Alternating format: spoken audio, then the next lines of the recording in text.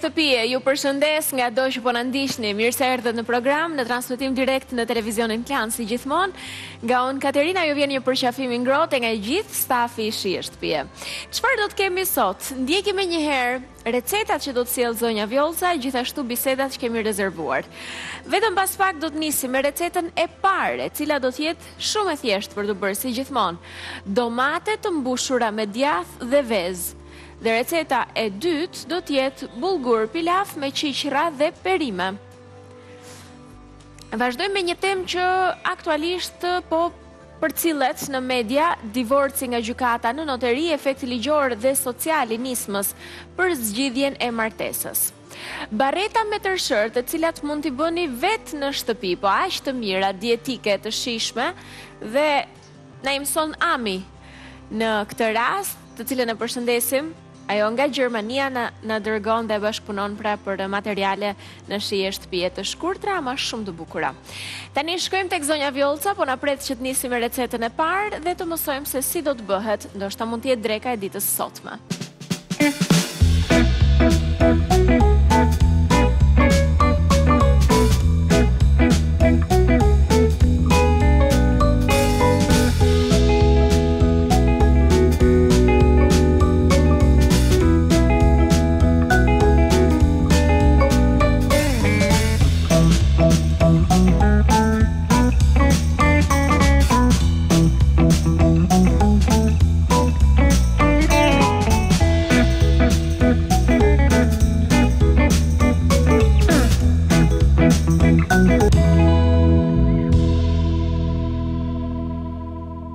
Do bëjmë domate me vezë? Domate të mbushura me mhm. djathë dhe me vezë. Kaq pak? Kaq pak. Wow. Ke bërë ndonjëherë omëletë kështu me domate? Po, po. Shumë e shijshme se jep pak mhm. lagështirë. Mua më pëlqen shumë të pak. Po, sidomos kur ka dhe djathë. Kur i mbushim, tani ka mënyra nga më të ndryshmet, po unë do bëj njërën prej këtyre mënyrave. Super. Këtu kemi një tavë, Kam marrë gjashtë domate, një kilogram, mund të jetë një kilogram e njëqind gram, kaq. Shiko si i kam bërë domatet. Kam prerë nga pjesa e sipërme, këtë kapakun, mhm. këtë në daç vëreni, në daç mos e vini, dhe komplet tulin e domates e kam lënë në vend. Ça kam bërë? Kam gërryer komplet pjesën e brendshme, farat. Farat dhe lëngun, Sigurisht e kam hedhur, ndërsa tulin e kam prerë në kubikë të vegjël. I kam lënë kështu që të kullojnë dhe të thahen brenda. I vendos këtu tani në tavë. Dhe më pas në fund do t'i hedh vaj tavës që mos më ngjiten sigurisht.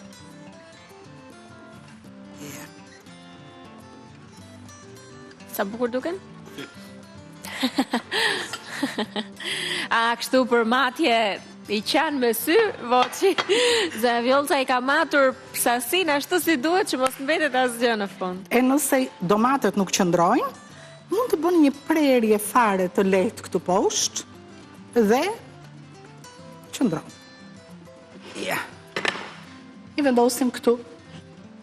Në këtë tasin, do të thyjmë vezët, unë do prek domatet dhe nuk prek vezë, kur do prek ushqim. Vezët janë shumë të vogla, dhe unë kam katër, po nëse vezët janë të mira, të mira, të mëdha, atëherë mund të vini tre. Lëri njëherë këto tre, që pastaj ta shof, si do ta kemi sasinë e lagështirës. Hedh fare pak kripë këtu, them pak për arsye se djathi ka kripën e vet, normal. Ja. Kaq më shumë. Dhe i rrah vezët edhe pak fare piper.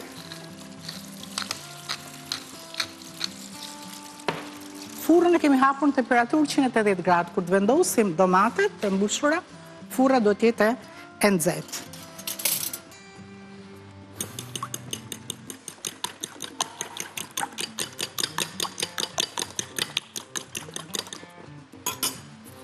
Mesatarisht unë do hedh nja 6 lugë, edhe një gjysëm luge, shiko, po teproi kjo, ju e dini që unë e bëj omlet, nuk shkon dëm, një, dy, tre, katër, Pesë. Gjashtë. Po ja dhe këtë lugën pa hedh një çik. E di që do teprojë çik edhe ta bëj omlet për shpirtin tim. Domatet i kam për këta të tjerë. Do hedh edhe majdanoz nja tre lugë. Po. Nga një gjysëm luge për çdo domate. Për çdo domate, e po. Dhe domatet që janë në copëza? Edhe domatet. Po. Ky është tuli. Pjesën e ujit që ka kulluar poshtë nuk e marrim, 2 3 4 ja pesë kaq shumë mirë e gjithë kjo është masë që do trazohet kaq është ta shohim recetën tani? po e shohim ta shohim pak bashkë recetën dhe më pas ndjekim zonjën vjollca për vazhdimin atëherë çfarë do ju duhet për domatet e mbushura me djath dhe vezë Kemi pesë gjashtë domate, pra përafërsisht në sasi bie një kilogram, njëqind e pesëdhjetë gram djath, një tufë majdanoz, tre vezë, kripë dhe vaj ulliri. Pra në total vetëm këta përbërës për të bërë në fakt një recetë kaq të lezetshme dhe ekonomike, Për ta vënë ndoshta edhe në mes të tryezës për të marrë secili po. domaten e tij të mbushur. Atë ditë që bëni domaten e mbushur, ju mund të bëni një makaron, mund të bëni një sallatë me kuskus, mund të bëni një oriz. Po këtë që do bëjmë si recetë të dytë? Mund të bëj bullgur. I shkon. Jo i shkon, po i stërshkon. Sot i kam kombinuar dhe S'keni djathë. Mund t'i mbushni me gjizë, por gjiza duhet të jetë shumë e thatë, ose nëse, nëse, mund të hidhni ke veza, një lugë çaji miell. Ah, që ta mpiksë. E lidh, e mpiks. Mhm. Edhe e bën shumë të shijshme, shumë të mirë. Shumë mirë. Dhe do i mbushim tani domatet, nuk është se kemi. Nuk po hedh më vezë. Fiks tre kokrra hodha, edhe pse ishin vezët e vogla. Tani i mbush domatet. Zonja Vjollca, të them pak ofertën e supë, e pajisjes së supës? Patjetër. Duke qenë se Kenwood-i ka herë pas here ulje, unë e kam thënë dhe stërthënë në fakt këtu në Shije Shtëpie, por uh, dua t'ia kujtoj dhe atyre të cilët uh, ose janë të rinj, ose nuk na kanë ndjekur rregullisht, ose fundja edhe ju që keni menduar Gjatë gjithë kësaj kohe ta bëni tuajën supën dhe ndoshta nuk ka qenë momenti i duhur, pajisjen e supës, jo supën. dhe tani mund të jetë momenti. Unë po e marr këtu, ndjesë, është kjo pajisja. Pajisja Kenwood me të cilën ne kemi përgatitur disa lloje recetash, jo vetëm supë, por edhe komposto e cila kthehet uh, në gjendje uh, Pure pra e grihet automatikisht edhe në versionin e supës nga vetë blenderi që është pjesë pra e kapakut. Dhe thjesht duhet ta mbyllni mirë kur ta vendosni në punë, të ta programoni në opsionin që ju doni, pajisja krem pajisja ka disa opsione. Supën kremoze, Supën me copëza, vetëm blender, komposto dhe vetëpastrimit. Pra këto janë saktësisht, që të jem edhe unë korrekt me ju, opsionet që ju ofron kjo pajisje dhe në maksimumi 24-25 minuta supa është gati pa u munduar fare ju, vetëm duke vendosur përbërësit në pajisje. 115.000 lek të vjetra është aktualisht çmimi i kësaj pajisjeje, Kenwood, është shumë e rëndësishme ta mbani mend që kemi të bëjmë me një produkt cilësor. 069 944 24 25 është numri i telefonit.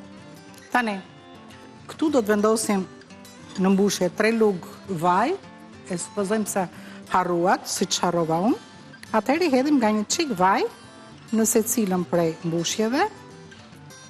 Ja. Ja dhe këtu hodha unë një çik, ja, mjaftueshëm. Edhe mjafton që të lëviz nja dy herë kështu pirunin këtu brenda dhe është okay. Të kaloj. Po po. Bie vetë ai. Mhm. Mm Se do çik vaj.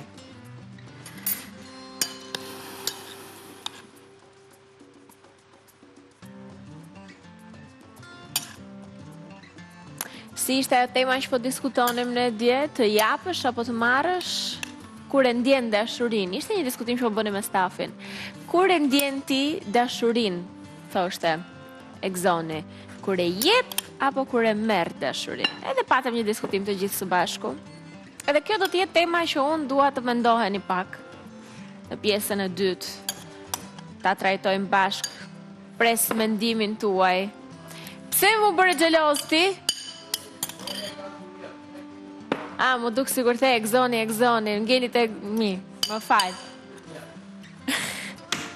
Thashë se m'u mërzite. Çuna për fajin tonë, more Egzon, ti djalë i zgjuar, pra që i shtëpie. U bë bosh. U bë bosh aty, s'ka ç'ishte. Unë shpresova që mund të tepronte një çik ta boja omletë, po s'ishte e thënë. Ishin ca si buçko këto domatet, kështu që... Tani, hedhim pak, vaj, shiko sa pikon kjo, pikon shumë pak, që bie edhe në tavë, por lyen edhe domatet. Tani, nëse dëshironi, i mbuloni, nëse dëshironi, mos i mbuloni. Po t'i mbuloni, si thua ti, do t'i mbulosh. I mbulojmë, se mos dalin më bukur. Po, edhe mpikset brënda vetë ajo. Ja t'i... kapakun e secilës.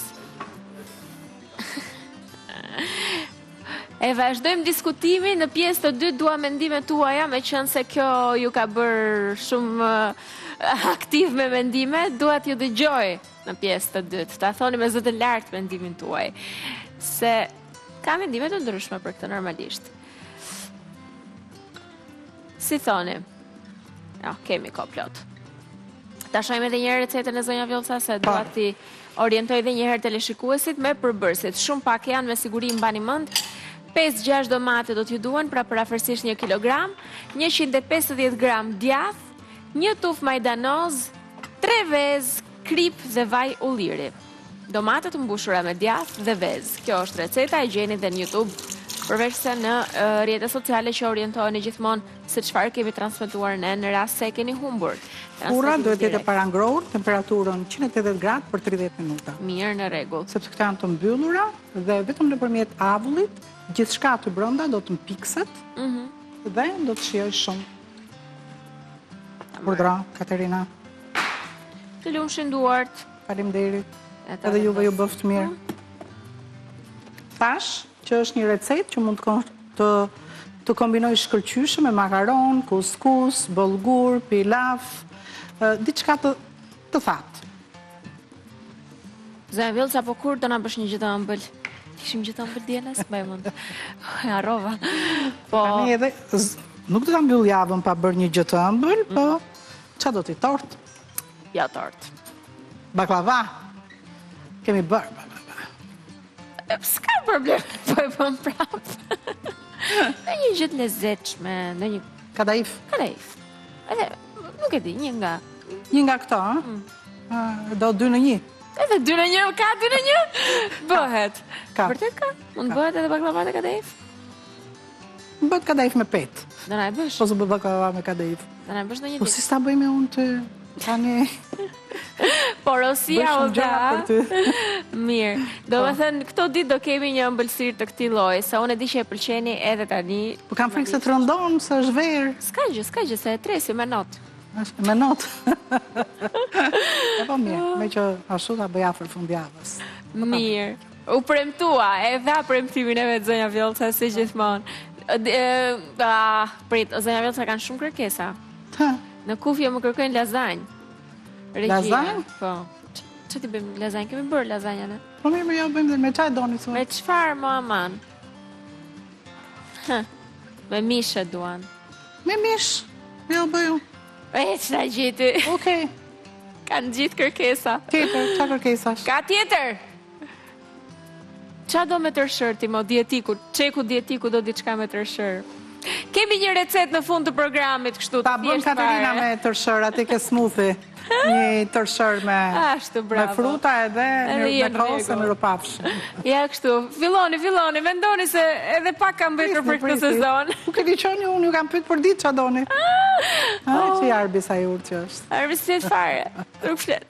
Yrt, do shkojmë në publicitet dhe kur të kthehemi do të vazhdojmë me recetën tjetër, e cila ishte me bulgur.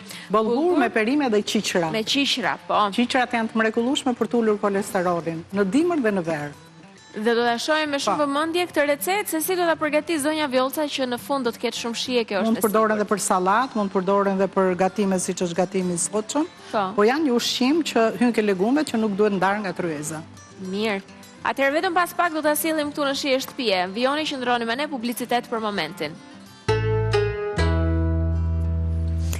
Jemi përsëri bashkë, me zonjën Vjollca do të vazhdojmë tani të sjellim recetën e dytë, bullgur, perime, qiqra, këto janë disa nga përbërësit të cilët do të kombinohen mirë e mirë për një recetë shumë të shijshme që shkon shumë edhe me të parën. E nisim? E nisa, Katerina, Po vura këtu grirësen e qepës, unë e kam filluar punën. Grirësen ke vu? Po. Që është edhe në ofertë, 38 mijë lekë. Ashtu, a? Aha. Është gjynah mos ta kesh në shpi këtë. Mbaroi. Unë e kam me zhurmën që krijon. Atë e kuptam po, po, që ka mbaruar, a? Shqisën e dëgjimit e ka fiks zonja Vjollca. Pak gjalpë Të zhvilluar. Dhe vetëm dy lugë vaj ulliri. Ja një, ja dhe një tjetër dy. I shkrijmë këto së bashku, me gjalpin, vaj e gjalpë bashkë. Shumë mirë. Dhe shtojmë qepën. Perfekt.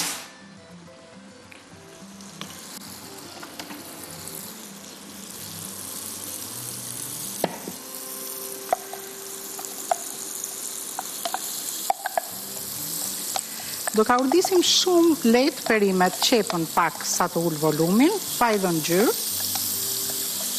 Dhe për 15 minuta këtu gjithçka është gati. Është një ushqim shumë i shëndetshëm, tretet shumë mirë, nuk ka gluten dhe është shumë i shëndetshëm të jetë në tryezë. Tjetër gjë që kemi kohë që s'kemi bërë bollgur, por në verë me perime, me perime në qoftë se doni ta bëni sallatë, do bëni zgjedhjen e një bollguri që të jetë pak më imët, nëse doni pilaf, do të jetë pak më i trashë.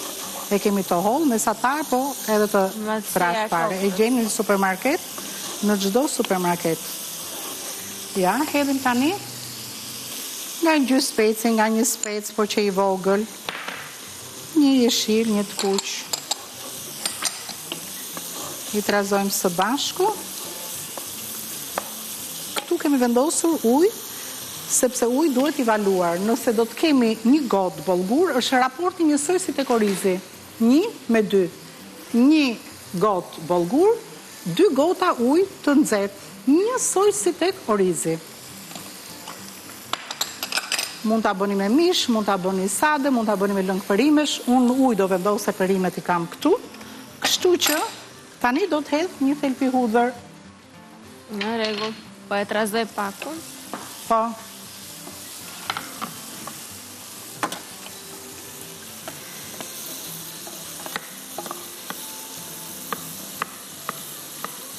Mm. Fantastike.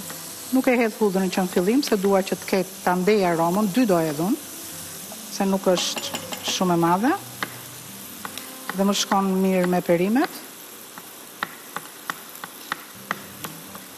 Ta shohim pak recetën? Po, e shohim.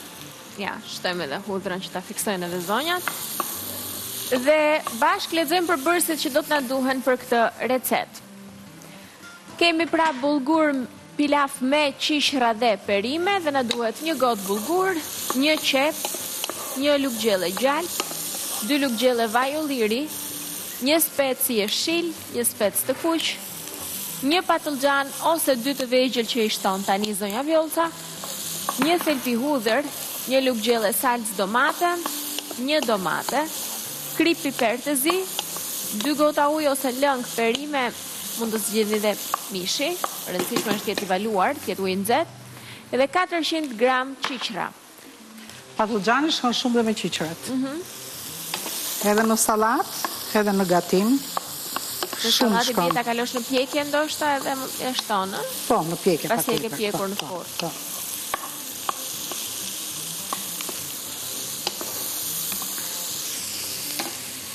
Do të hedh Një domate, do të hedh salcë mirë.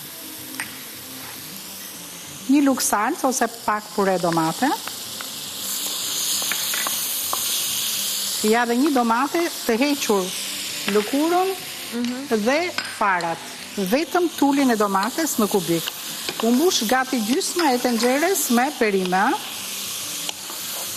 Pra është një vakt që në darkë Ke bukë dhe gjellë bashkë.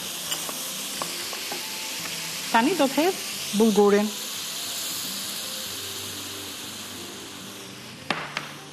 Një gotë bullgur e trazoj derisa dhe bullguri të vishet me lagëshirën që ka këtu brenda të lyhet edhe si me vaj dhe 2 gota fiks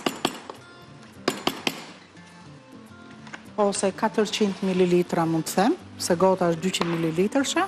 Me ujë të nxehtë? Po, po, unë do po. A e ke matur zonja Vjollca më parë, po hidhe direkt? Jo, jo, dua të jem sa më konciz. Do të digjesh. Ja një.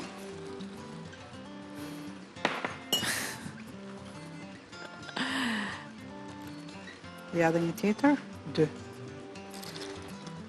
Në rregull jemi. Pra, niveli i bollgurit me perimet dhe me ujnë është baras. As pak më lart, as pak më shumë, siç e shikoni.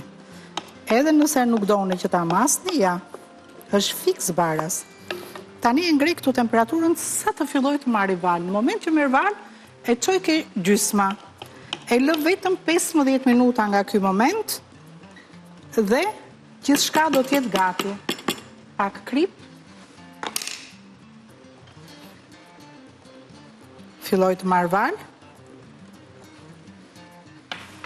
Edhe një çik piper, nëse dëshironi, nëse jo, edhe mund mos ia hidhni. Ule me dorën tënde temperaturën, se është shumë e rëndësishme. Tek gjysma, 5.5. Po, dhe, po, 6 përë. Nuk e trazojmë më, nga ky moment ne e lëmë vetëm 15 minuta me kapak të mbuluar. Gjithçka këtu përfundon bas 15 minutave. Kaluan 15 minuta, e largojmë kapakun, edhe hapim një pecetë. Mhm. A, se puna e orizit. Bravo. E hapim një pecetë me qëllim që avujt mos të kthehen në bulza uji mhm. dhe të na e zbuti bollgurin. Bravo.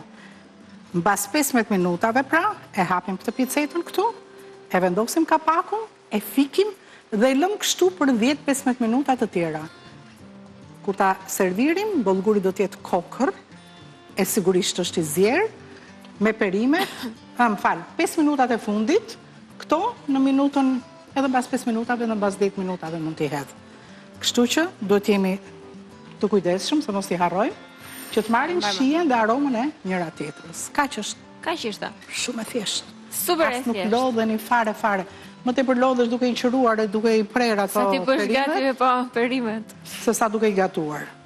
Në pak minuta mund ta bëni këtë recetë super të shijshme, e cila është fiks për sezonin e verës, me perimet e stinës, me bullgur që është shumë i shëndetshëm, i pasur, me vlera ushqimore, dhe në fakt nëse i marrim me radhë të gjithave ua gjen vlerat. E rëndësishme është t'i kombinoni çdo ditë dhe të jenë pjesë e dietës tuaj ushqimet, perime, fruta, ë Bishtajoret që po thoshte zonja Vjollca pak më parë të gjitha.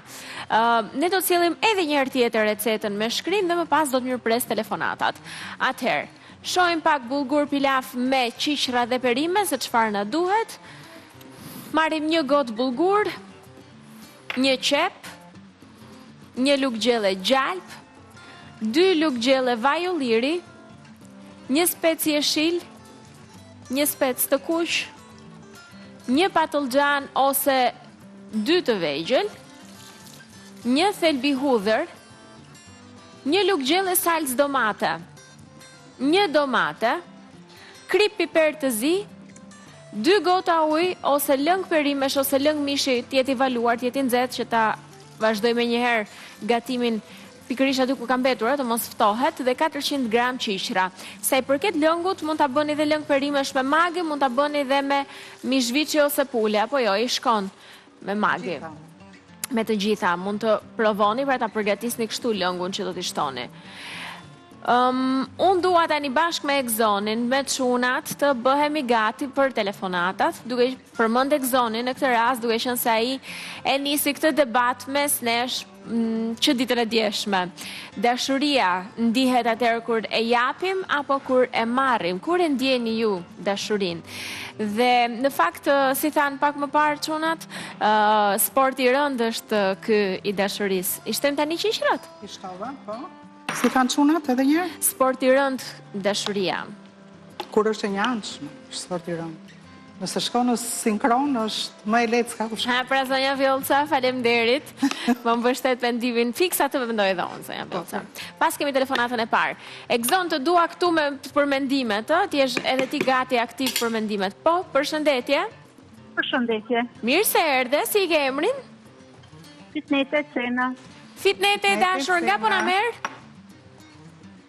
Marr nga Peshkopia. Nga Peshkopia, sa kënaqësi. Nga Peshkopia. Gëzohem shumë që na more. Do na tregosh pak Fitnete mendimin tënd. Hë, si të duket ty dashuria? Po. Kur e ndjen ti dashurinë, kur e jep apo kur e merr? Kur e merr. Kur e merr. Mhm. Si e arsyeton ti këtë pjesë? Të kam në telefon, ë? Kur dikush të fal dashuri. Është kënaqësi kur të falin dashuri. Nuk ndjen aq shumë po, kënaqësi kur e jep? Edhe kur e jep, po ama është më kënaqësi kur dikush të fal dashuri. Mm. Interesant, interesant. Mirë, ky është një mendim i bukur. Shkurt, qartë dhe saktë. Edhe unë kështu mendoj, që kur Shiko, merr dashuria dashurinë ka një ndjen. këndvështrim të gjerë shumë, ë, se dashuria nuk është vetëm për bashkëshortin, ose Patjetër. midis dy sekseve të kundërta. Se tani kanë dalë edhe edhe të një seksi, po desha me të pyet te Oh, fëmija, hajde, iku, vetëm e iku. merr apo e jep? Iku Fitnetja. Nuk e kam në linjë. Ha, iku. Okej. Po mirë, edhe të ndryshon, po, e vërtetë. Po prapë, kur e merr, ndjen në gërgjap. Me gjitha të, nëse e mbajmë, ndoshta e ka... Unë mendoj që kur e jetë. E ka mbajtur tek çifti përgjigje, ah, kam përshtypjen. Në rregull. Ta shohim pak telefonuesin tjetër ç'do na thotë, edhe na tregoni në këtë rast, ndoshta edhe përvojën tuaj. Përshëndetje. Përshëndetje. Me kë flasim. Përshëndetje. Përshëndetje. A, unë jam Elda. Elda e dashur, po ti nga ku po na merr? Nga Tirana. Nga Tirana. Shumë mirë, gëzohem shumë që na more. Përshëndetje të dyjave, dua t'ju përshëndes. Përshëndetje edhe ne. Edhe juve, edhe zonjës. Ju ndjek çdo ditë me kënaqësinë më të madhe. Shumë faleminderit. Bëni gatime shumë të mira dhe shumë të thjeshta ekonomike. Po. Ëh, ndërsa për Katerinën, tema shumë të bukura dhe shumë tërheqëse.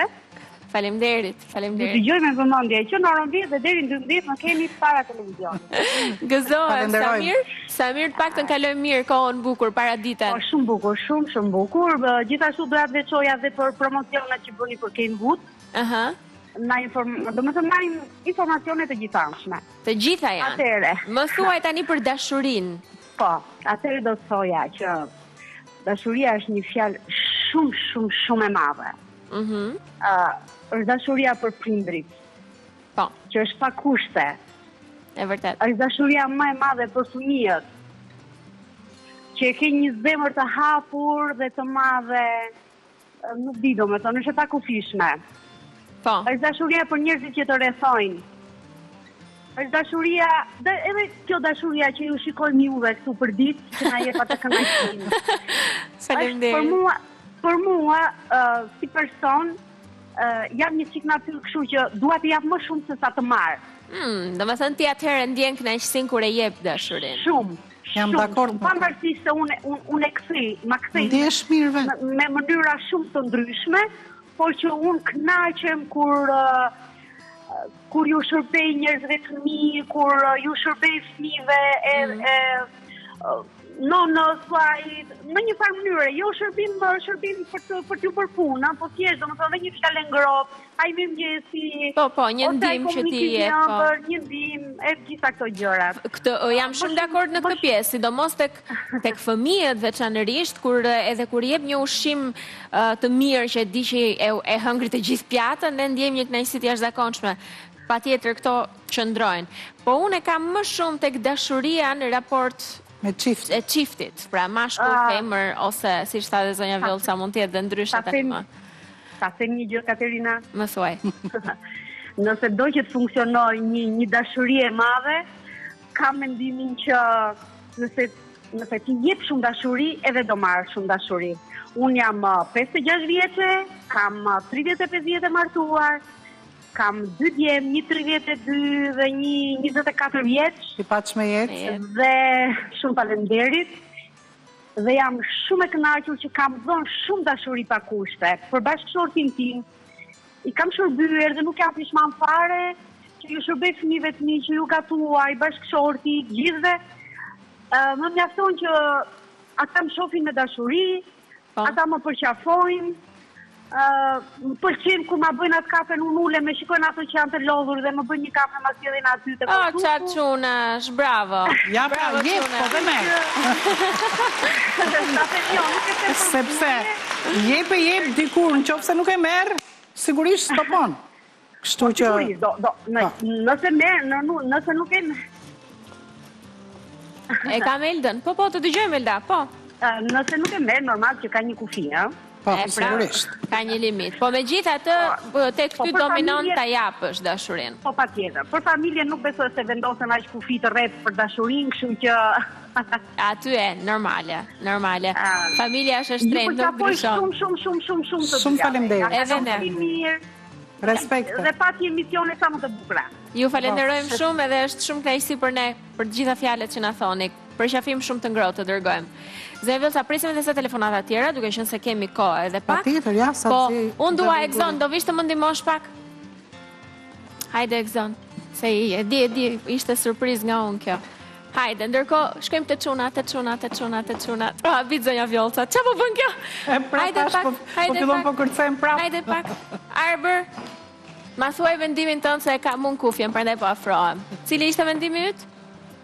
Më shumë japim se marrim.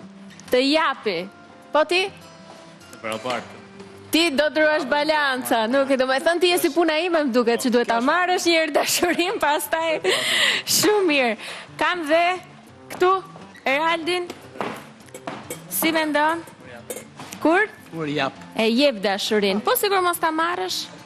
Po, Mirupafshim, po, ça, mirupafshim, çao po të lë. Çao po të lë. Shumë mirë. Edhe ashtë një, edhe kanë një mendim çunat. Ti e guxon ta thuash me zë të lartë? Kur jep dashuri. Të... të presim telefonatën. Presim telefonatën tjetër. Kë kam në linjë? Bardha. Bardha e dashur. Nga je? Po, nga Fushë-Kruja. Nga Fushë-Kruja, të përshëndesim. Përshëndetje, Bardha. Përshëndetje dhe ju. Jeni shumë të mira të dyja. Faleminderit, faleminderit. Hajde moj Bardha, më trego një çik uh, dashurinë për ty, si e koncepton, si e ke ndërtuar, më trego pak nga përvoja jote. Dashuria me përvojën time është reciproke.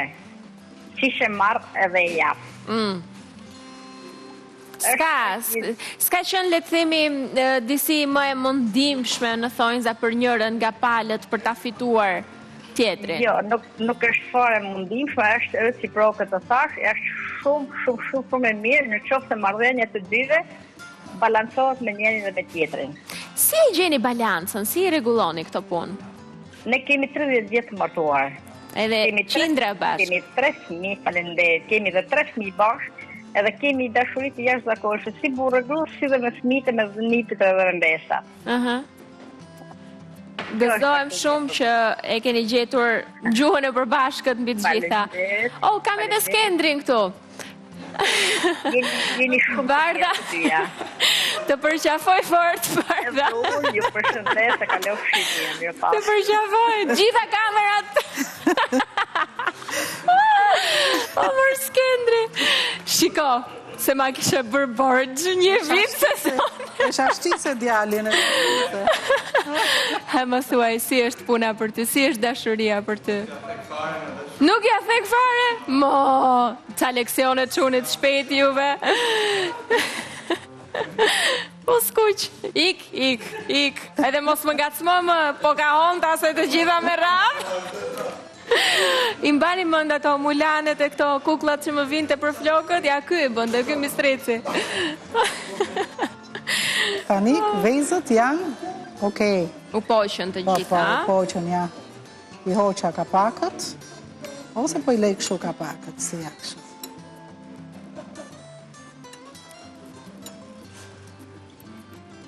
Mirë, ta shojmë edhe një herë recetën e domateve, të cilat ishin të mbushura me vezë dhe djath. Po. Për gjithë ju që doni ta bëni pikërisht këtë tavë kaq të thjeshtë dhe shumë të shijshme, më besoni duket që Qënka super e mirë. Ëm, um, jo, dua recetën e domateve të parën sepse dua meqenëse e panë tavën të përfunduar teleshikuesit, ta kenë dhe një herë idenë, çfarë vendosëm dhe ishin shumë pak gjëra. 5-6 domate, pra për afërsisht 1 kg, 150 gram djath, një tufë majdanoz, 3 vezë, kripë dhe vaj ulliri. Kaq ju duhet dhe bëni një super tavë. Egzon hajde shife këtu si është bërë bollguri. E kam lart? Okej. Tani këtu unë do ta fik. Do të vendos, është e dukshme, po. që gjithçka është kokërr, nuk është ngjitur. Mhm. Do të vendos këtë pecetën. Dhe këtu s'ka, është zero. U fikën të gjitha, do ta lë për dhjetë deri në pesëmbëdhjetë minuta të mbuluar me pecetë. Se shiko si është kapaku me bulëza uji, të gjitha këto i thith peceta dhe nuk lë që ne bollguri të na tejzbutet më tepër se ç'duhet. Super. Këto ishin recetat e sotshme. Të lumshin duart. Një mbushim një pjatë me bollgur, të madhe kuptohet, jo të madhe po bollgur aq sa duhet, ëh? Mhm. Dhe në anë vendosim një domate. Shumë kombinim i mirë dhe besoj se të gjithë do ta provojnë duke qenë se nuk është se e futen të keni buk e gjellë perime të gjitha bashkë. E drejtë, dhe është një vakt dreke mendoj unë i shkëlqyer. Po dhe po të provojë çik një dorë për darkë këtu mirë. Po. Unë e shoqëroj në këtë rast me tarator, bollgurin pëlqen shumë. Shkëlqyshëm, është është ilaç. Po zonja Vjollca po e mbyll këtu me ty sot.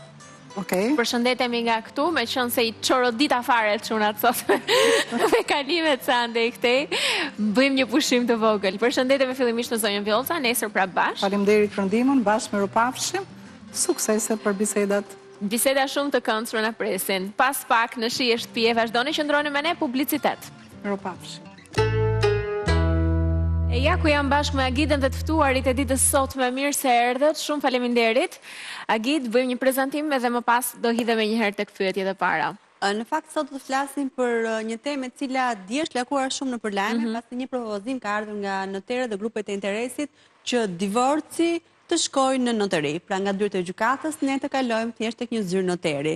Dhe edhe pse është ende në nivelin e propozimit, menduam që është mirë të diskutohet jo vetëm si aspekt ligjor, por edhe si aspekt social. Ndaj sot jemi me profesor Gëzim Tushin, sociolog dhe me Ana Pertena, avokate, për të diskutuar për këtë propozim. Ju falenderojmë dhe një herë tjetër që jeni me ne dhe do ta nis në fakt me me ju avokate për të kuptuar saktësisht procesi i divorcit në këtë moment. Shkon tek avokati dhe më pas vazhdon në proces gjyqësor që bëhet me disa seanca në, në bazë të nevojës që ka çifti besoj. Dhe kalimi më pas në noter. Si ju duket juve, për ta kuptuar njëherë si është tani dhe kalimi në noter? Normalisht me sa pash është një propozim i një notereje, e, po, cila e ka dërguar tek grupet e interesit, grupi i saj i interesit ka qënë dhoma e noterisë dhe përgjithësisht noterët, dhe ka pretenduar që do ta dërgojë në Ministrinë e Drejtësisë. Për mendimin tim, ose më saktë, tani në, në zgjidhjen e martesës ne e procedojmë në këtë mënyrë. E, e, personi që do të zgjidhë martesën i drejtohet një avokati, Dhe më pas, pasi i dorëzon dokumentat përkatëse, i drejtohet gjukatës për zgjidhjen e martesës. Kjo është e parashikuar edhe në ligj, pra zgjidhja e martesës Tani për momentin njihet vetëm me ligj. Kjo, pasi lexova edhe projekt draftin pak a shumë të noterëve dhe çfarë ata pretendojnë, është një gjë që jo vetëm në Shqipëri ndodh. Edhe kur na vijnë rastet e njohjes së vendimit të gjykatave të huaja, pra një divorc që vjen nga jashtë, Sërish edhe vendimet e gjykatave të të huaja janë nga një gjykatë, kështu që s'ka se si të ndodhë ndryshe. Sa i përket marrëveshjes, ne kemi një parashikon ligji që mund të bësh një zgjidhje martese, po. por me marrëveshje. Kjo deri tani ka qenë nëpërmjet ndërmjetësimit, bëhet marrëveshja në ndërmjetës ligjor ose tek noteri, Dhe shkon dhe e paraqet atë marrëveshjen në gjykatë. Që të dalë me vendim gjykate, sepse aty përfundon procesi. Por pa vendim gjykate nuk ka zgjidhje martese. Këto të dyja ndryshojnë nga njëra tjetra në kohë, në burokraci, por edhe në çështje financiare? Unë mendoj që në çështjet financiare janë më shumë kosto, kur bëhet me marrëveshje. Sepse marrëveshjen Në qoftë se ju ja paraqesni avokatit, personat që do divorcohen, ja paraqesin avokatit, avokati ja paraqet gjykatës dhe me atë marrëveshje gjykata vendos pasi e shqyrton çështjen nga fillimi në fund, sepse normalisht familja është institucioni më i rëndësishëm shoqëror, nuk mund të divorcohesh me një akt marrëveshje sepse Duhet të bërë një hetim i thellë nga ana e gjykatës, pse po bëhet divorci, cilat janë arsyet. Sepse divorci nuk është kaq e thjeshtë edhe për për pajtimin. Ka edhe një ka disa janë një seancë pajtimi se s'bën. Po. Pra gjykata e vëren nëse çifti vërtet po divorcohet apo është një një krizë edhe ka mundësi pajtimi. Prandaj ka edhe ligji ka parashikuar që nëse gjykata nuk e çmon të arsyeshme që çifti është për ndarje, por ka thjesht një krizë, atëherë i lë të disa muaj afat, tre muaj ose gjashtë muaj afat, që të vinë përsëri dhe gjykata pasi të bindet që vërtet zgjidhja e martesës është e domosdoshme, atëherë vendos edhe për zgjidhjen e martesës. Përveç kësaj duhet sqarohet edhe disa fakte që jo vetëm që është institucion i rëndësishëm shoqëror martesa dhe familja, por edhe vetë fakti që ti shkon në një zgjidhje martese, nuk do të thotë që janë vetëm dy bashkëshortë. Mhm. është familja në tërësi. Janë fëmijët dhe për këtë ka procese të gjata për zgjidhjen e martesës. Nuk ka zgjidhje martese me një seancë. Pra bëhet një hetim i thellë gjyqësor. Po kjo ky propozim është i tipit të zgjidhet martesa me njëherë? Ky propozim është i tipit që një çift nëse do të zgjidhë martesën të shkojë të deklarojë para noterit dhe të propozojë atë që ata vetë kanë vendosur. E supozojmë, një nga vendimet që e zgjidh martesën është se si do t'i rregullojnë, pra ta zgjidhin martesën. E dyta si do ta rregullojnë arsyen apo faktin që bashkëshortja që ka marrë mbiemrin e bashkëshortit a do ta ndryshojë apo do ta mbajë të njëjtë mm. dhe vendosin të dy së bashku. Gjithashtu vendimi është edhe për fëmijët se si kush do të paguajë pension ushqimor, sa do të jetë ndihma monetare për fëmijët të cilët Dhe kush do t'i vendosë këto? Kush do t'i mbajë Kjo presupozohet nga ana e noterëve tashmë që kanë bërë edhe projekt draftin, presupozohet që do të bien në marrëveshje me konsensus ndërmjet palëve dhe do ta do ta rregullojnë këtë gjë përpara noterit. Por Unë nuk e di se si e ka pikërisht, nuk e di se si e kanë propozuar sepse ajo do një vendim patjetër, sepse martesa përveç se fëmijëve ka edhe pronat e përbashkëta të cilat hipoteka, si do t'i njohë hipoteka me një vendim gjyqësor, shkon edhe e rregullon pronën ose me dakordësi tek noteri, po në momentin që ke zgjidhur martesën. Mhm. Kështu që ka edhe një variant tjetër martesa që para martesës mund të ketë një kontratë paramartesore. Po edhe me kontratë paramartesore nëse do të jetë martesa, sërish do zgjidhet në gjykatë dhe natyrisht paraqitet edhe kontrata. Është domethënë e pashmangshme të shkosh në gjykatë. Është e pashmangshme të shkosh në gjykatë. Profesor, si e shihni ju këtë zgjidhje që duket sikur është ekspres në përshtypjen e parë?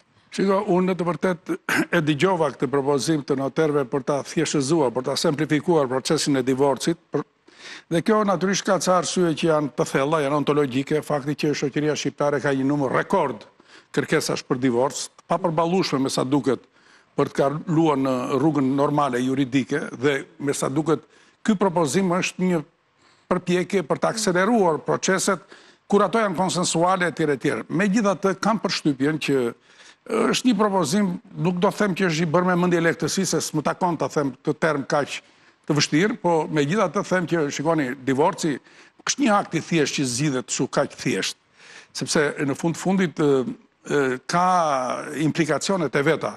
Unë e kuptoj, ka raste kur ndikimi inter, ose interferimi nëpërmjet këtij noterit në kushtet kur martesa, të themi sapo është krijuar dhe nuk ka interferenca pasurore, nuk ka lënë pasardhës, nuk ka probleme pasurore. Mhm. Dhe kjo, vetëm në kohën e komunizmit, mund të ishte kaq e thjeshtë kjo gjë, se atëherë s'kishim gjë, trupin kishim, të tjerat ishin të gjitha të shtetit, edhe shtëpia ishte e shtetit, dhe puna ishte e shtetit, dhe gjithçka, apo jo, trupin kishim. Pra, divorci atëherë me gjithë përpjekjet që bëheshin për ta kapërcyer, ishte më i thjeshtë, ndërsa sot nuk është kaq i thjeshtë, është shumë i komplikuar. Dhe kam përshtypjen që zgjidhja vetëm nëpërmjet një akti notarial nuk besoj që është kaq e thjeshtë. Martesa nuk është vetëm një akt juridik. Kjo është pjesa e rëndësishme e saj. Po së pari është një një akt emocional, pastaj është dhe një akt social që ka pasoja sociale të cilat duhen llogaritur dhe kam përshtypjen që akti notarial nuk mund të zgjidhi të gjitha komplikacionet që ka një një martesë për të për të bërë divorcin dhe për ta bërë atë me drejtësi sociale siç duhet. Kështu që në këtë kontekst kam përshtypjen që ndoshta duhet parë, unë nuk di në praktikat e mira ndërkombëtare të divorceve a ka një praktikë të tillë, nuk e di. Unë kam lexuar shumë. Në në Greqi ishte në Greqi, Estoni, po në Francë ishte tani unë doja të thosha për Greqinë sepse neve na vijnë vendime dhe vendimet e huaja i bëjmë njohje të vendimit të gjykatës së huaj këtu.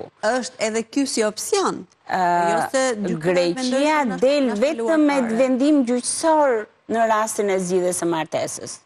nuk ka marrëveshje tek noteri. Asnjë rast deri tani nuk më ka ardhur në zyrë që është zgjidhur martesa me një marrëveshje tek noteri në Greqi. Edhe edhe edhe një gjë tjetër që as në Itali. Edhe një gjë tjetër, shikoni, unë mendoj që kjo është shkalla e fundit, domethënë, ë Zgjidhja te noteri e problemit anashkalon të gjitha hallkat e tjera, një martesë mund të jetë në krizë dhe kam përshtypjen që jo domosdoshmërisht duhet një vule noteri që thotë ju nuk e doni më njëri tjetrin ju, lani dhe vulen dhe ikni. Por jo vetëm kjo profesor, më fal se ju preva fjalën, por tek zgjidhja e martesës në gjykatë ne një nga elementët më thellësisht që duhet hetuar është edhe ai i fëmijëve, si do rriten, po, si do ushqehen. Në një farë mënyre ka edhe një për masën e pensionit ushqimor. Në momentin që çifti e supozojmë do ndahet kur janë me fëmijë tre vjeçar. Kjo është pjesa materiale, pa diskutim, po unë kam parasysh te pjesa emocionale.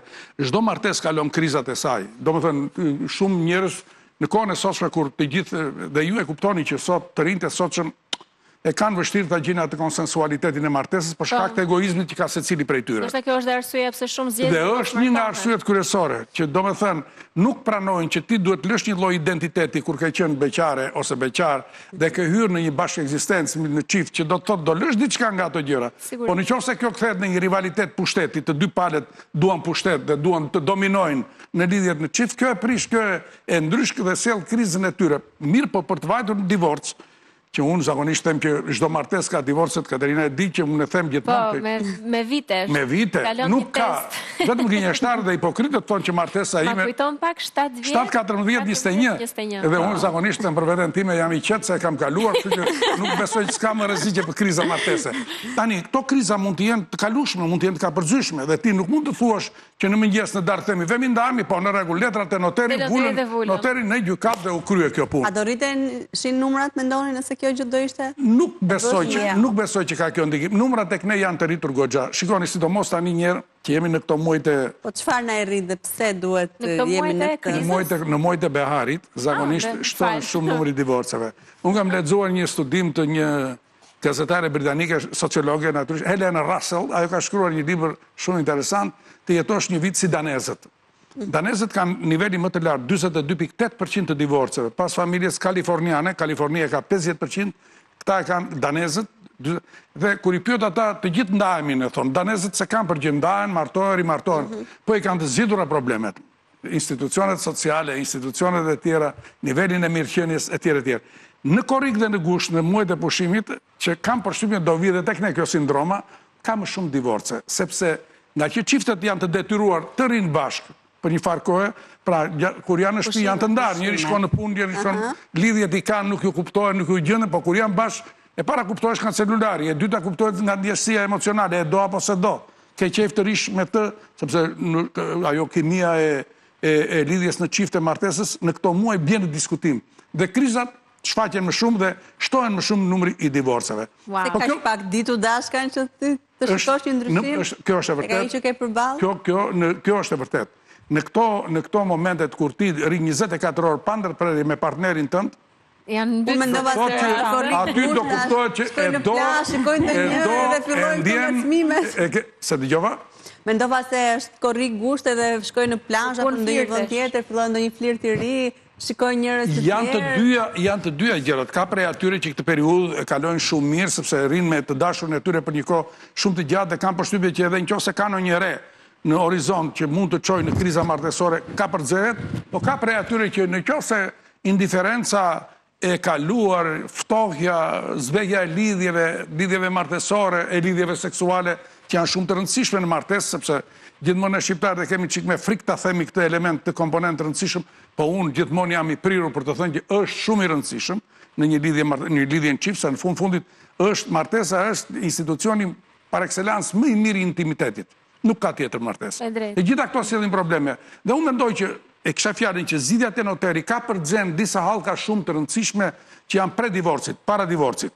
Sepse në qoftë se ne do ta semplifikojmë që ti do, nuk do, shko atje te noteri, na edhe vulën dhe ik, Kjo do të thotë që do ta shtojmë numrin e divorceve në mënyrë të jashtëzakonshme.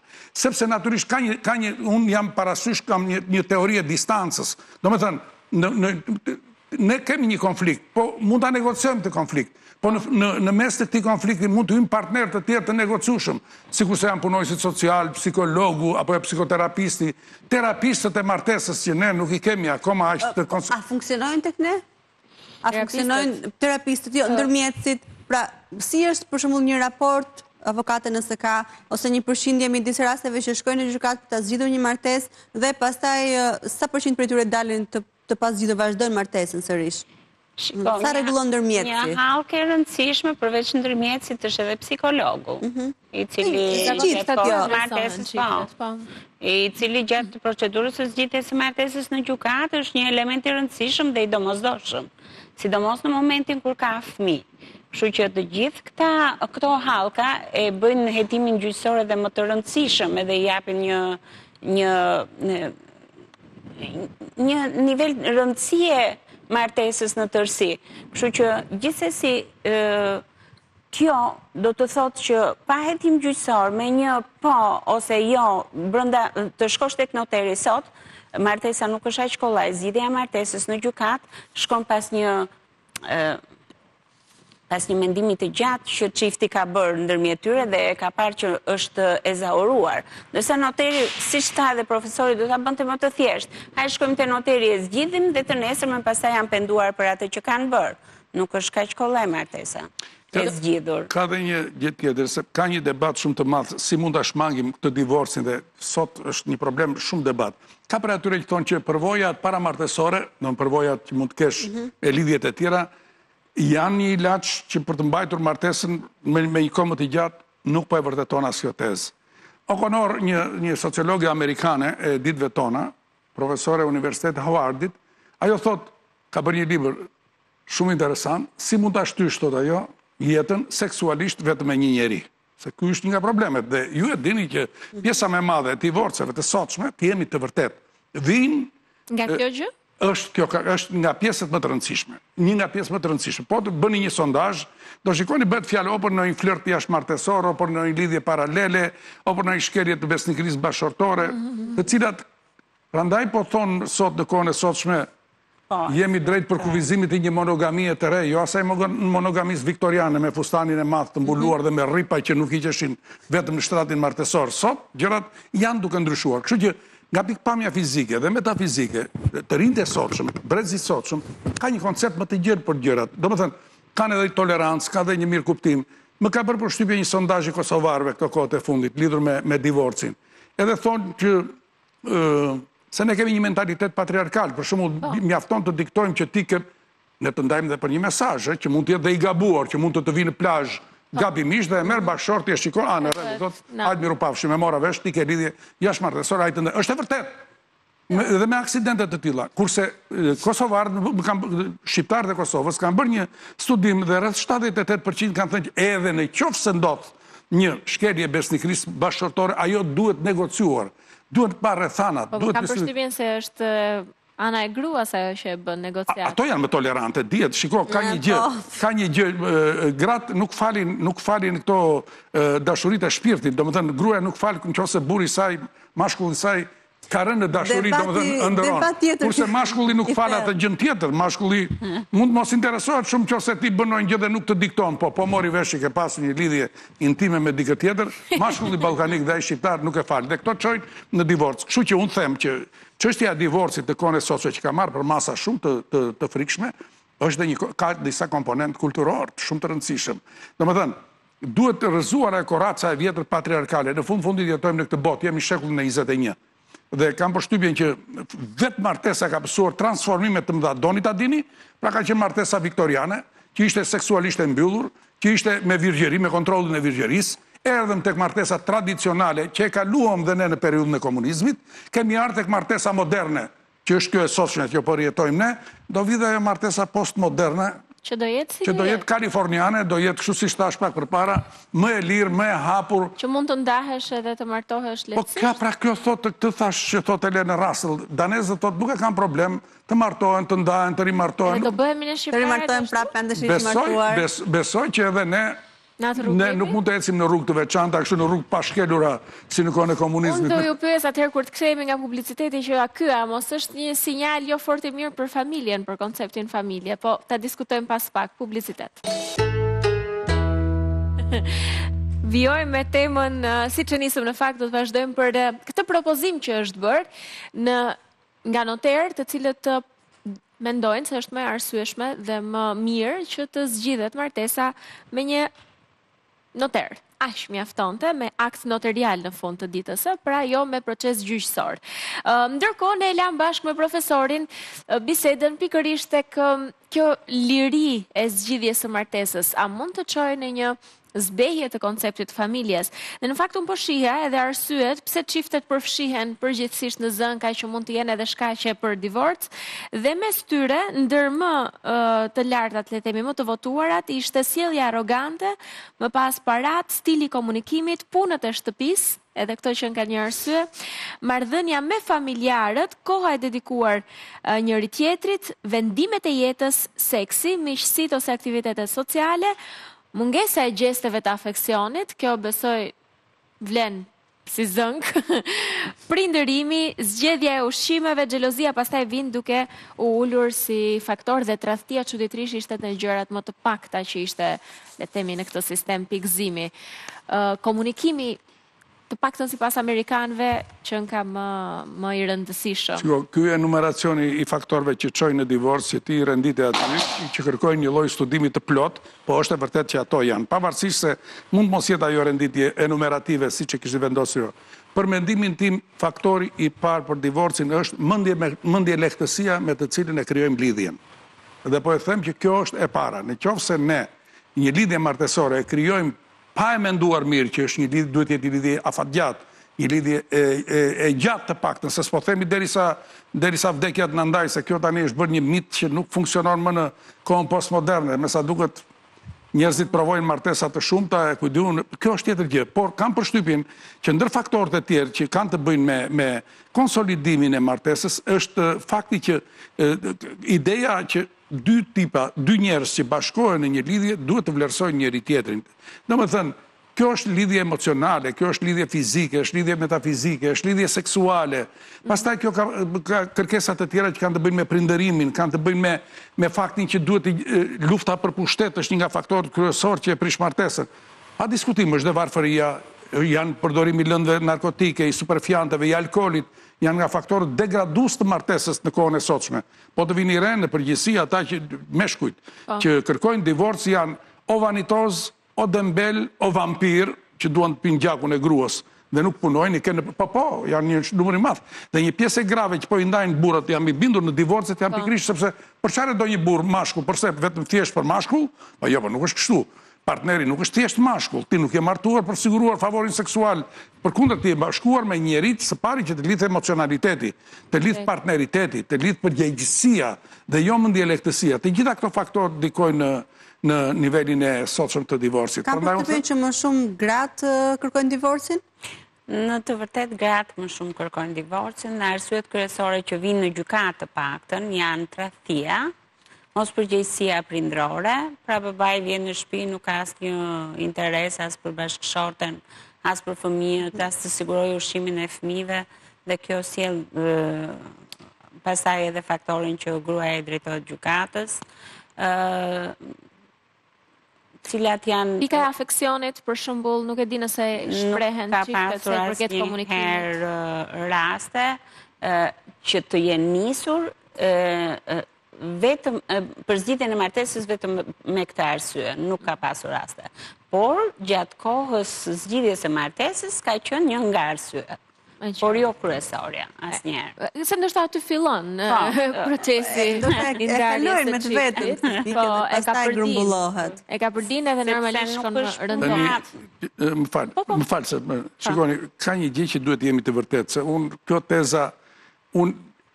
i përkrah femrat pa fund, por domethënë kështu këto, kjo ideja për t'i bërë këto pëllumbesha dhe këta meshkujt skifterë, domethënë që këto femrat, domethënë gabojnë për shkak të shkaqeve tjera e tjera, mëkati në këtë rast është i ndarë, ka sondazhe, mm. ka sondazhe, që nga studimi i parë i Kinsit në Shtetet e Bashkuara të Amerikës 48 dhe 53 janë studimet fundamentale për seksualitetin, për seksualitetin bashkëshortor, janë zbuluar që ka faktorë të cilët ndikojnë në këtë çështje. Dhe në sondazhe, eh, tani kemi filluar aty, aty të jemi, edhe meshkujt edhe femrat. Domethënë, pyetjes, a ke pasur, a ke lidhje jashtëmartesore, 48 po. me 52, për shembull po marrë një fakt, ndryshimi që ka ndodhur, në qoftë se në kohën e Kinsit, deklarimi, a ke pas lidhje jashtëmartesore, ka qenë 13%, flasim në Amerikë, që është vendi mhm. par excellence më i emancipuar i planetit, apo jo? Po. Prej andej vijnë modelet, ç'është e vërteta. E aty mësojmë. Aty mësojmë. Sot ka vajtur 50%. Femrat italiane janë aty aty dhe më duket po ua kalojnë meshkujve, që deklarojnë që kemi lidhje mhm. jashtëmartesore.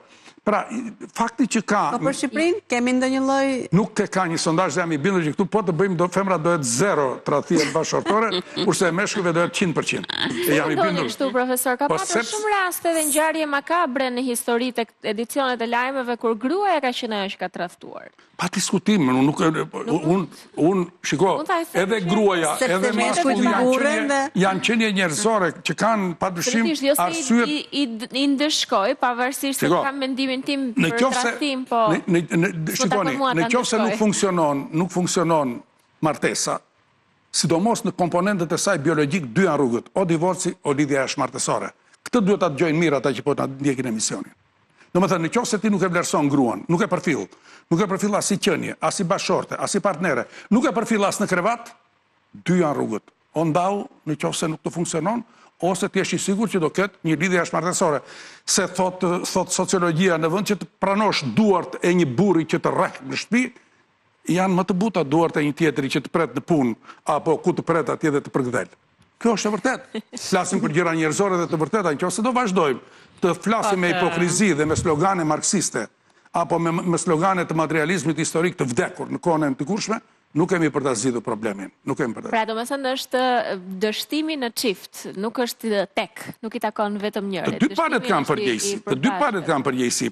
në shoqërinë shqiptare jam dakord, përgjegjësia e meshkujve dhe unë të them për shembull, numri i fakti që meshkujt janë përdorues të alkoolit, përdorues të drogës, vanitozë, njerëz të klubeve, orientalistë që e djegin kohën duke u marrë me llafe me gjëra kështu. Mhm. Dhe ç'është e vërteta, gratë janë më më më abnegative, më të përkushtuara për familjen, Dhe kjo është e vërtet, historikisht gratë shqiptare e duan shumë familjen, po. e duan shumë fëmijët, i duan shumë burrat e tyre. Kjo kjo është e vërtet. Po ne, unë mendoj se ky është një aset i shoqërisë shqiptare, që familjen e kuptojmë. Kjo na vjen, kjo na vjen nga nga pjesa tradicionale se ajo pjesa e shoqërisë tradicionale dhe familjes tradicionale nuk është e tëra pa vlerë dhe konservative. konservatore. Jo, ka ca vlera të cilat mund t'i transmetojmë dhe mund t'i transplantojmë në kohët moderne. Se unë kam përshtypjen se ky evoluimi që po pësojmë modernizimi, nuk është modernizim jo, po për mirë. Fakti i vendimeve të po gjykatës që zakonisht janë gratë që marrin përgjegjësinë prindërore, janë gratë ato që pas zgjidhjes së martesës,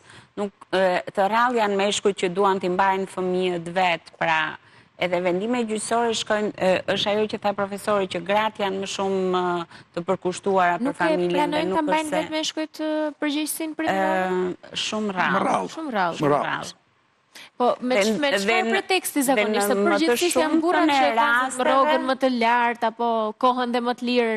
Në më të shumtën e rasteve dhe burrat që kërkojnë ta mbajnë ndonjëherë e bëjnë edhe për egoizëm, duket qartë që e bëjnë vetëm të shqetësojnë pikërisht për të fituar.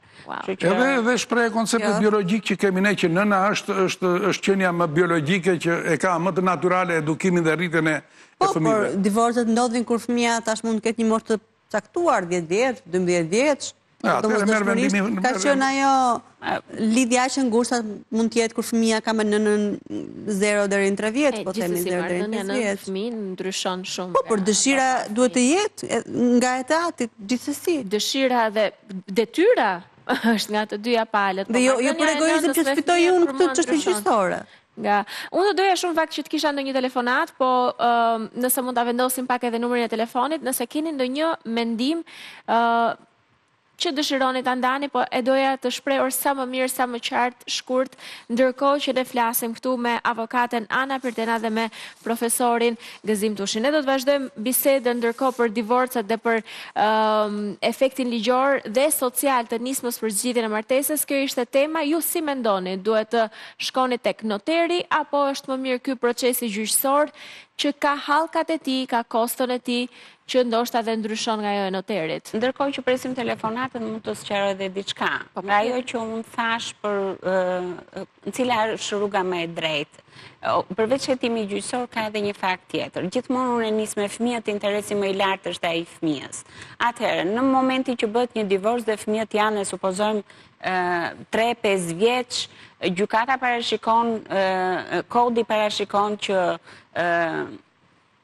Detyrimi ushqimor për fëmijën të jetë në një sasi të caktuar. Por ama me rritjen e fëmijës rriten edhe kërkesat për fëmijën, rritet edhe kërkesa për sasinë e pensionit ushqimor. Që në qoftë se do të ishte një vendim te noteri, e supozojmë, ose një deklaratë tek noteri, qëndron aty ku është. Besoj se do qëndronte aty ku është dhe nuk do kishte nëse do të ishte gjithmonë, që unë mendoj që nuk do të jetë, nuk do të ishte i diskutueshëm më pensioni ushqimor gjatë rritjes dhe zhvillimit të fëmijës, sepse pensioni ushqimor parashikohet për një fëmijë deri në 18 vjeç, por në momentin që ai shkon në universitet e ka të drejtën e pensionit ushqimor deri në 25 vjeç. Mhm. Dhe me rritjen e tij në çdo herë që Nëna e sheh të arsyeshme, rriten çmimet, kërkesat për fëmijën, ndryshon shkollën, të gjitha këto i drejtohet gjykatës dhe kërkon rritjen e pensionit ushqimor, gjë që edhe gjykata pastaj e analizon dhe e analizon. Kjo e men është kemi lidhje. Është një telefonatë, megjithatë nuk dua t'ju ndërpres. Jo, kjo lidhja, kjo e noterit Mund të ketë këtë vlerën e madhe, sepse mund të shkosh te noteri të thuash që ne duhet të ndahemi, pa përfunduar procesi gjyqësor. Unë gjithmonë kam shpresa shumë të mëdha tek një lloj që unë e quaj ribashkimi martesor. Domethënë, njeri, kalon njeriu një krizë dhe në një moment të caktuar në gjak do ndahemi dhe te noteri. Një akt i cili fle aty tek, do konsideroheni që jeni të ndarë, të themi gjysmë juridikisht, sepse vendimi gjyqësor është ai që definon çështjen. Megjithatë unë unë mendoj që në teorinë e distancës ka mundësi që duke e parë që nëse ky konflikt ka ardhur për pesë para spec, mund të jetë një injeksion apo një helm i ardhur i ardhur nga familja biologjike e burrit apo e gruas se ndërhyjnë dhe ata fusin dhe nga njerëz te ne në Shqipëri pa pa pa pa. Këto acidet e familjes biologjike që burri jot kështu se gruaja jote pse e le ti ajo erdhi mbrëmë, më foli, më foli, më tha ububu të këto të të shoqërisë shqiptare. atëherë ka një mundësi që duke e mbajtur thjesht në një akt të ftohtë notarial, të, të themi të vërtetën, ka mundësi që të bëhet ribashkimi martesor dhe po ju them, vetëm tek ne nuk ndodh ose ndodh shumë rrallë. Në perëndim ribashkimi martesor ose martesa për së dyti e njerëzve që kanë pësuar kriza divorci janë martesa brilante. Brilante, sepse kanë provuar, urdoni? Rigjejnë pasionin. Rigjejnë një pasionin e ringjallit dhe kanë një, nuk kalojnë më kriza martese pas asaj. Se e ka gjetur gabimin. Të dy palët kanë pranuar, kanë bërë një lloj autodafeje, unë e bëra gabimin, ti e bëre gabimin. Tani ne të dy e kemi dashur njëri-tjetrin, po në qofë se kemi dhe fëmijë, aq më shumë që kemi dhe fëmijë, po në qofë se kemi vënë një lloj pasurie, një lloj mirëqenie, komoditeti familjar, po aq më mirë akoma. Kështu që ta prishësh këtë gjënë, kështu që unë mendoj që kjo Ky është një stacion i mirë i ndërmjetëm, kjo e noterit që ta mbajmë të arkivuar që ju të dy keni një moment krize, konsideroheni të ndarë, po jo deri në fund. Më fal, po ajo nuk mbetet në arkiv.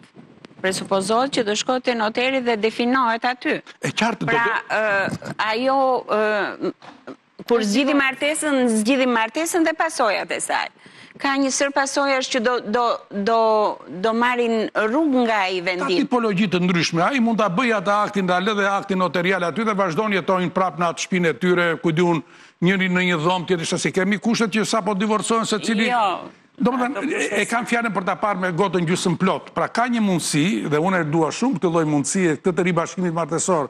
Në shumë divorce janë bërë për arsye mizerabël, mediokre, është e tmerrshme, është e turpshme, është është të prishësh një martesë për gjëra kur ka gjëra esenciale, domethënë një martesë që nuk funksionon, një martesë që është ndryshku, nuk lubrifikon, nuk jep rezultat.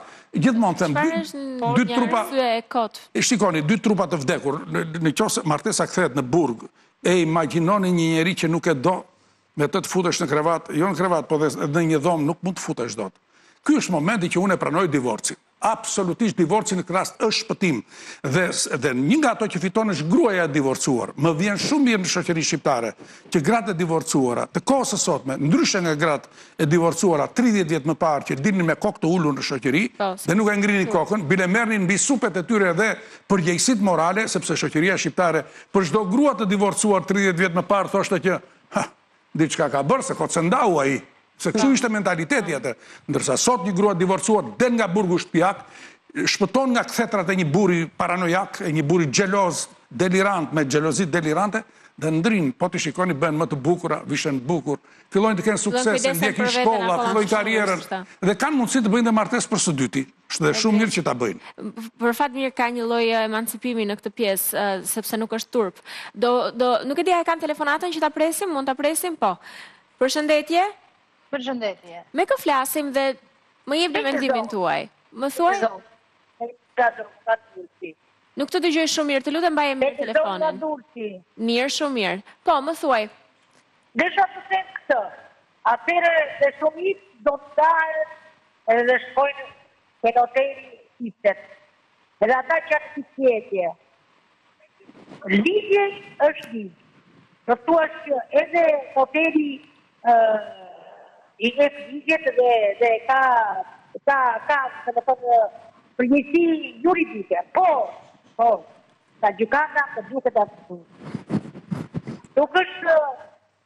Nuk është noteri që duhet të ndajë dikë, është gjykata që vë pikën mbi i sepse kur ndahet një çift ka dhe pasoja të tjera, ka fëmijët, ka ka financat, ka edhe shumë e shumë gjëra të tjera. Pra, pra, noteri them nuk do të jetë serioz në ndarjen e një çifti. Ndarje serioze është vetëm dhe vetëm nga gjykata. Do të thoni ju që gjykatat janë plot e përplot dhe janë ka shumë kërkesë, po nuk është faj i popullit, është faj i atyre që drejtojnë këto gjykata që i kanë dosjet, kanë zënë pluhur me vite të tëra.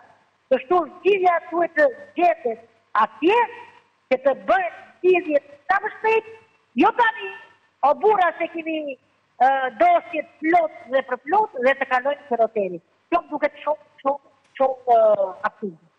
Pra, ligji dhe gjykata, kjo është. Ju falemderoj shumë. Falemderit për mendimin. Pra me sa duket zonja po besoj dhe ata që mbrojnë këtë tezë, akti noterial le të themi e shohin si një ndoshta dhe formë të nxituar për të zgjidhur martesën dhe nuk mundet në fakt martesa është Akt shumë i rëndësishëm, pra ti nëse e merr vendimin për t'u martuar, e ke menduar mirë, e ke analizuar mirë këtë vendim dhe është vendim jete. Nuk mendoj se mund të zgjidhet kaq kollaj sikur po shet një makinë, ë, që shkon dhe bën Është pikërisht, po. një akt noterial. Dhe për atë mendohesh shumë. Dhe për atë mendohesh gjatë. Dhe- Ke krijuar një lidhje të fortë edhe me makinën. Jo vetëm për këtë që e cilësuam, por doja të cilësoja pak edhe atë pyetjen që i bëtë ë, profesorit dhe ë, Gëzim Tushës, që i tha që pse Cilat janë martesat e parëndësishme? Doja të cilësoja pak një fenomen që ka ndodhur kohët e fundit. Bëhen martesa fiktive, mhm. për shkak të djemve që kanë marrë ekspulse jashtë shtetit dhe për të ndryshuar mbiemrin, për të marrë mbiemrin e gruas. Ato janë martesat që ndoshta nuk kanë asnjë lloj rëndësie, sepse janë bërë fiktive, nuk ka pasur relacion, nuk ka pasur martesë Tani se si duhet zgjidhur kjo, nëse duhet të mos lejohen që të bëhen për këto arsye, sepse në një farë mënyrë ata shkojnë dhe betohen që do do kenë dashuri po, të përjetshme me njëri-tjetrin etj etj. Kjo mund të zgjidhet, po këto janë martesat, zgjidhjet e martesave të parëndësishme. Pra ajo është vetëm një që Pavarësisht kësaj se si janë lidhur, gjithsesi gjykata i futet një hetimi të thelluar. Gjithsesi ajo është një martesë si të gjitha të tjerat. Ju falenderoj shumë, faleminderit shumë që ishit me ne. Faleminderit që e trajtuam bashkë këtë temë. Do të shkojmë në publicitet, kur të kthehemi do të vazhdojmë me një material shumë të shkurtër dhe interesant nga Ami, pas pak ju tregojmë. Dhe një ide shumë e mirë për t'u ushqyer shëndetshëm vjen nga Ami, Ami's Recipes, e njohur nga Instagrami me këshilla fantastike dhe me të gjithë pozitivitetin që e karakterizon atë vajzë, ka sjell një video përsëri këtë herë në fakt për bareta me tërshër. Një, ndoshta mesvakt apo dhe thjesht një ide për të ngrënë ato gjërat e ëmbla të mira që duam ne herë pas here. Që i shikon në shumë dyqane artizanale më shumë dhe thua si janë bërë kaq të mira, ndërkohë që tani mund t'i bëni edhe vetë në shtëpi. Ta shohim atëherë materialin nga Ami.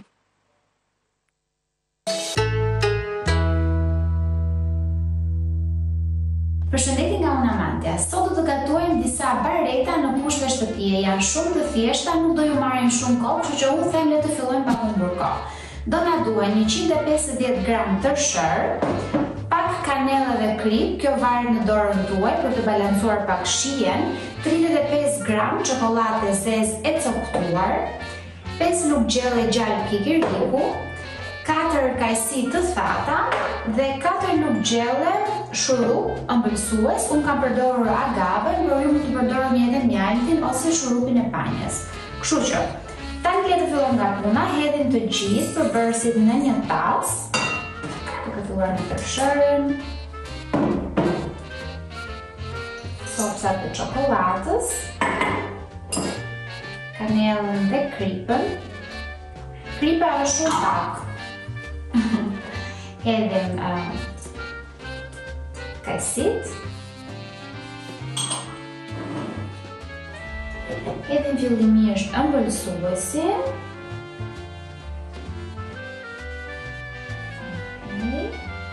Dhe gjalpin e kikirikut. Në vend të gjalpit të kikirikut mund të përdorni çfarëdo lloj gjalpi tjetër, mund të jetë gjalp bajamesh, gjalp nga arrat indiane, pra është në preferencat tuaja. Tani do i përziemi njëra tjetrën që të lidhen dhe pasi masa është lidhur me njëra tjetrën, unë në fakt e punova pak me duar sepse ishte pak e vështirë me spatulën. Do na duhet një tavë në lidhje me tavën, sa më e gjërë të jetë tava, aq më të holla do dalin baretat, ndërkohë që sa më e ngushtë të jetë, aq më të larta. Kështu që hedhim të gjithë masën, Do dalë një formë e tillë, si formë brumi. Okay. Edhe e shpërndaj masën në tavë. Në vend të çokollatës, mund të shtoni për shembull pak fruta të thata, 35 gram bajame, për shembull arra, kikirika, porse unë mendoj që çokollata e zezë i japin atë shijen më të veçantë. Në lidhje me forcën e çokollatës, edhe kjo është në dorën tuaj, unë kam përdorur shtatëdhjetë e pesë për qind të zezë. E nxjerrim. Tadam! Shumë mirë. Atëherë, nuk e di nëse sa mund të shihni nga nga lart, por masa është e tillë. Pra me këtë trashësi, O, çfarë ere që ka. Hajde dhe ta presim. I presim në trashësinë e dëshiruar.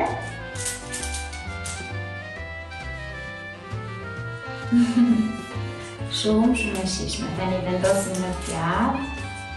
Mund t'i lëmë pak në frigorifer për t'u ngjeshur pak dhe për t'u mbledhur me njëra tjetrën, por